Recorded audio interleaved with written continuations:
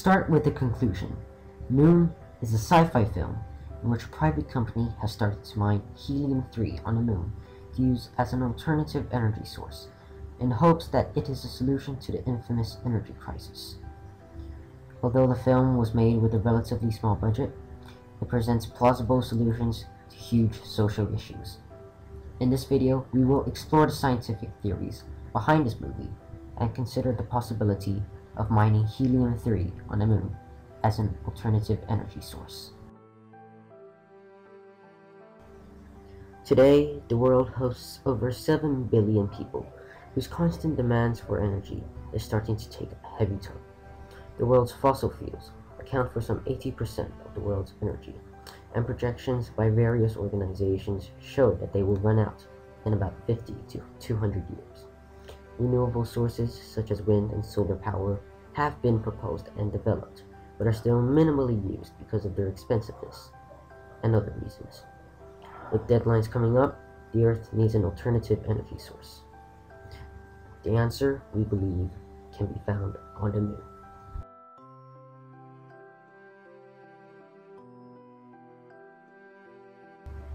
This answer is helium-3, one of the two stable isotopes of the element helium. It consists of two protons, one neutron, and two electrons. Helium-3 is non-radioactive and has the power to efficiently fuel nuclear fusion plants, with an efficiency level of 70%. 25 tons of helium-3 has the capacity to generate enough energy to power the USA for one entire year. Unfortunately, helium-3 is extremely rare on Earth, but scientists have reason to believe that there are vast deposits on the moon. There's a lot of helium-3 in the universe. There's very little helium-3 on the Earth. The reason for this is that all the helium-3 diffused, captured on the Earth, diffused into the atmosphere, and that diffused into outer space. The problem we faced was we didn't know where to find large amounts of helium-3. The Sun is the biggest fusion reactor in our solar system, and the biggest producer of helium-3. Helium-3 is actually manufactured in the Sun, and leaves in the form of solar wind.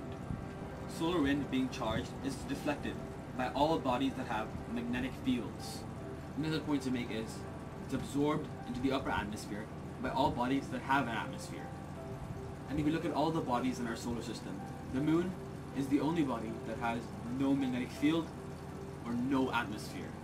The consequence of that, the consequence of that is that solar wind is positive on the surface of the moon and has been for over 4 billion years. The question we have now is, how much helium-3 is actually on the moon right now? The moon has been hit with 500 million metric tons of helium-3. A question we have now is, what happens after we actually get helium-3? It goes through a process known as nuclear fusion. Fusion, as opposed to fission, does not require a heavy dangerous element. Fission works by breaking apart two isotopes, releasing energy. In a fusion, we're actually fusing two very light elements, which are usually hydrogen and helium. The goal is to produce fusion er energy with as little radioactivity left as possible. There are three generations of fusion. The first generation of fusion involves deuterium and tritium. Deuterium is a naturally occurring isotope of hydrogen, also known as heavy hydrogen. It appears in all water around the world. Tritium, on the other hand, is a very rare isotope and it's very radioactive. The second the second nuclear stage of reaction involves helium-3 and deuterium, and it's a very clean nuclear reaction. If we look at the third generation, which would be even harder to make fuse, we're, we're looking at the helium-3, helium-3 reaction. It's essentially fusing two helium-3 atoms. This is a perfect cycle, as there's no radioactivity associated with the release of this kind of energy You can actually release nuclear energy from helium-3 atoms with no waste. The waste of the helium-3 reaction is hydrogen and helium. You can use the hydrogen, the waste product, and use it as a fuel source by burning it. The key element is that we're burning it in oxygen, and the waste product of that is water, which we can use to bathe, drink, and many other things which we use water for. If the world were to not use any other source of energy, including solar, oil, etc., etc., and solely relied on helium-3, the Earth could sustain the power it uses today for thousands of years.